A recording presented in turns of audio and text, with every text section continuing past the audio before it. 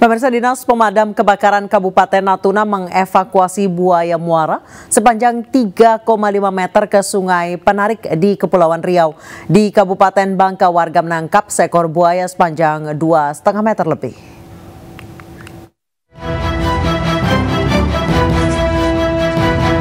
Buaya muara seberat 400 kg ini ditemukan warga di bendungan dekat perumahan di Kecamatan Pulau Laut, Kepulauan Riau.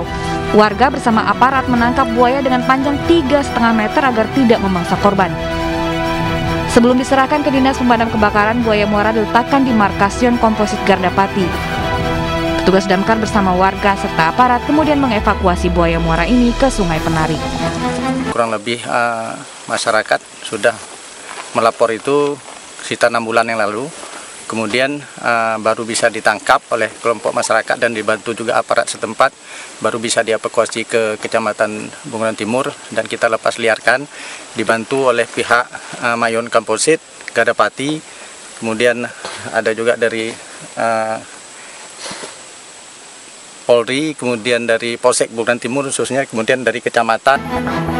Di Desa Cengkong Abang, Kabupaten Bangka, Provinsi Kepulauan Bangka, Belitung, warga menangkap seekor buaya sepanjang 2,7 meter. Usai ditangkap, buaya kemudian dibawa ke kantor desa dan menjadi tontonan warga.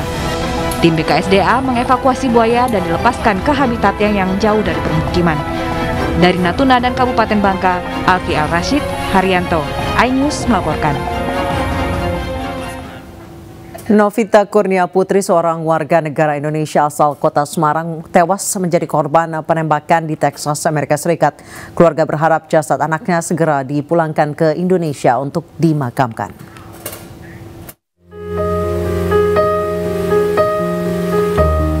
Novita Kurnia Putri, warga asal kota Semarang, Jawa Tengah menjadi korban penembakan di Texas, Amerika Serikat. Pihak keluarga masih menunggu kedatangan jenazah Novita Kurnia Putri namun keluarga masih belum mendapatkan informasi terkait kapan jenazah Novita akan dipulangkan dan tiba di Indonesia. Tanggal berapa dia video call sambil kerja? Bulan September, bulan September. Kayaknya bulan September ya video call. Eh Oktober, Oktober. Sekarang kok ambil biru gitu kan. Mbak Novita itu juga kerja di sana. Iya, Mbak Novita di Texas tuh baru kerja satu bulan. Novita menjadi korban salah sasaran yang ditembak oleh pelaku aksi pencurian mobil. Jenazah korban rencananya akan dipulangkan ke tanah air sesuai permintaan pihak keluarga. Dari Semarang, Jawa Tengah, Kristadi, iNews melaporkan. Tim pengacara keluarga Lukas NMB serahkan surat penolakan saksi atas istri dan anak Gubernur Papua Lukas NMB kepada penyidik KPK. Keduanya menolak hadir ke KPK untuk bersaksi dalam dugaan kasus suap dan gratifikasi APBD Provinsi Papua. Tim kuasa hukum Lukas NMB Senin pagi menemui penyidik KPK untuk secara resmi menyerahkan surat penolakan bersaksi atas nama istri dan anak Lukas NMB. Namun mereka tidak bisa bertemu dengan penyidik KPK.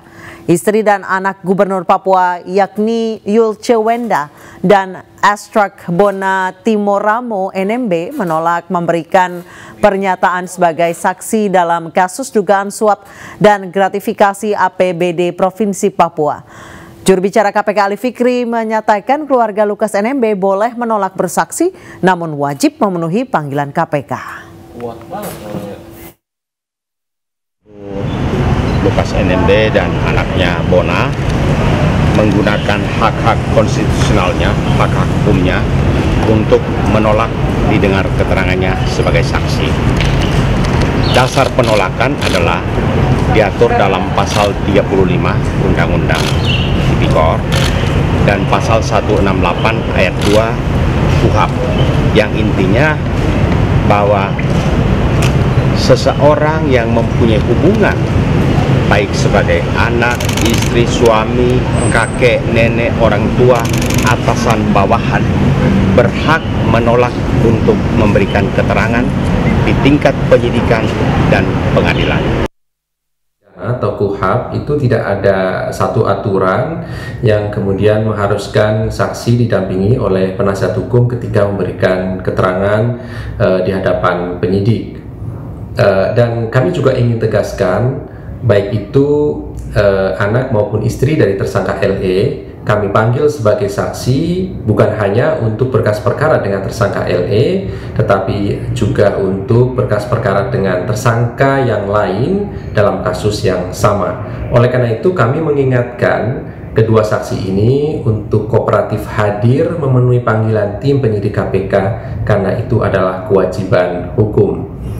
E, kalaupun kemudian setelah hadir dan merasa ada hubungan kekeluargaan dengan tersangka, tentu silakan sampaikan dan kami akan pertimbangkan karena ada hak uh, saksi untuk mengundurkan diri ketika ada hubungan uh, kekeluargaan dengan uh, tersangka.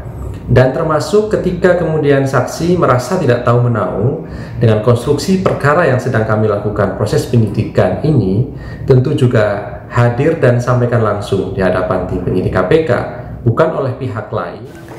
Kementerian Koperasi dan UKM menggandeng puluhan startup untuk peningkatan digitalisasi UMKM di tanah air. Langkah ini dilakukan untuk memanfaatkan ekonomi digital di tanah air yang diprediksi mencapai 4.500 triliun rupiah.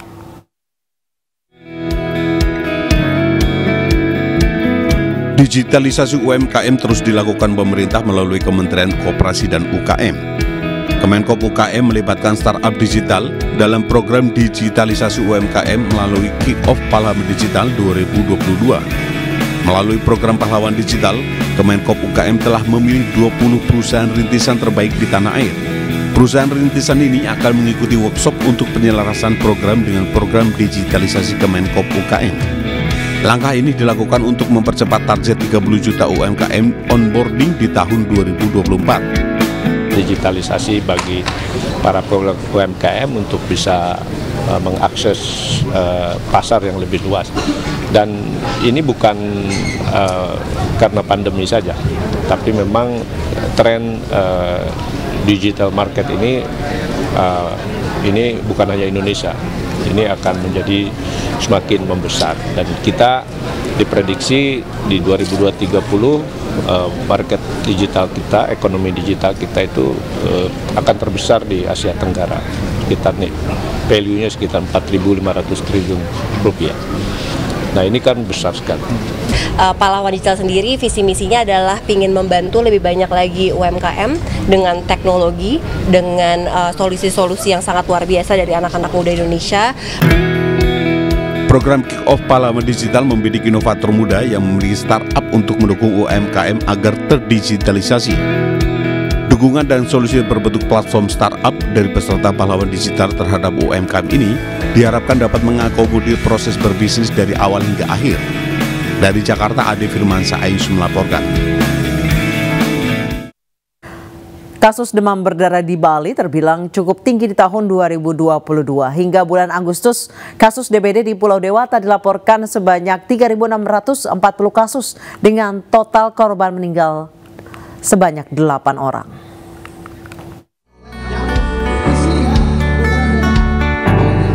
Enesis Group melalui Sovel dan Force Magic memberikan edukasi terkait pencegahan demam berdarah melalui 3M+.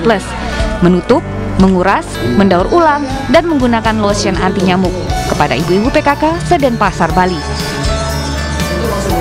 Acara yang digelar di Ina Bali Heritage Hotel juga dihadiri Ketua TPPKK Provinsi Bali Putri Swastini Koster dan juga artis ibu kota Jessica Iskandar.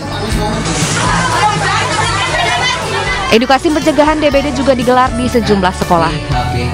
Dalam kegiatan di Sekolah Dasar Kartika 71 Denpasar terdapat praktek uji ampuh bersama Sovel yang mendapatkan antusiasme dari para murid. Harapan kami betul-betul merasa beruntung sekali karena kami dipilih sebagai sekolah pada sasaran untuk sosialisasi ini karena kami sangat, sangat penting hal seperti ini mengajarkan anak untuk hidup sehat, hidup bersih yang nantinya di mana anak-anak itu merupakan generasi bangsa yang harus sehat jasmani dan rohani.